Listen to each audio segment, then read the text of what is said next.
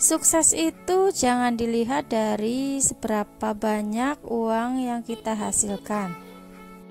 Sukses yang sebenarnya adalah seberapa banyak uang yang bisa kita simpan atau yang bisa kita selamatkan dari pengeluaran. Assalamualaikum guys, kembali lagi di videoku, video tutorial membuat es lilin. Untuk kalian yang mau usaha boleh ikuti caraku jualan es lilin di depan rumah atau kalian juga bisa titipkan di warung tetangga atau kalian bisa jual sendiri di depan SD. Untuk kalian yang pengen usaha tapi modalnya minim, boleh subscribe channelku. Siapa tahu kalian terinspirasi dengan apa yang aku bikin dan apa yang aku jual. Oke kali ini aku mau buat es lilin susu kental manis.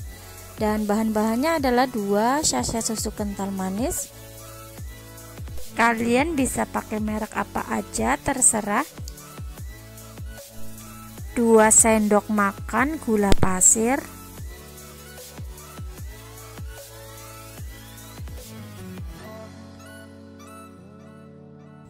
1 sendok makan tepung maizena.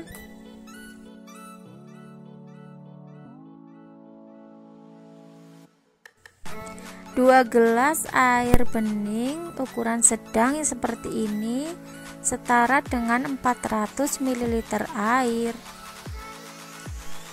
Plastik es lilin ukuran 4,5 cm kali 15 cm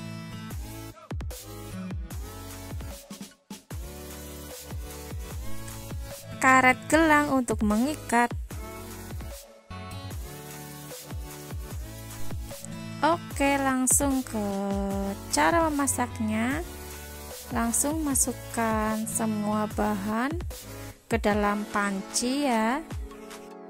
Masukkan susu, masukkan gula pasir,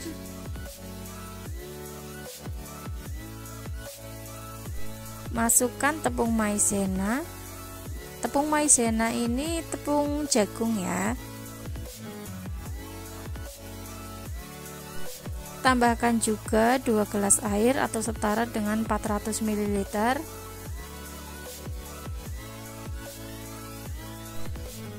aduk-aduk sampai merata sampai tercampur dengan sempurna ya. Kemudian nyalakan kompor dan kita rebus sampai mendidih pakai api sedang ya. Kemudian secara berkala diaduk-aduk.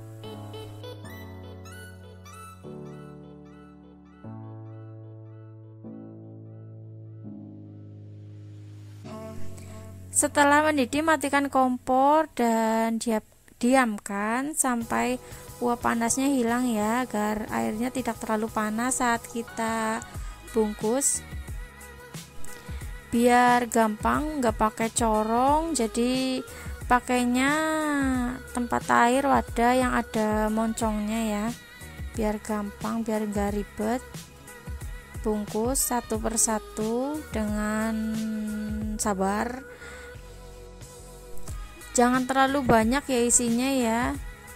Sisakan 3 cm lah antaranya untuk spasinya. Ya segi segini lah nanti diikatnya segini. Biar enggak ini. Biar takarannya pas. Lakukan hal yang sama sampai semuanya selesai. Dan ini guys jadinya 7 7 es lilin.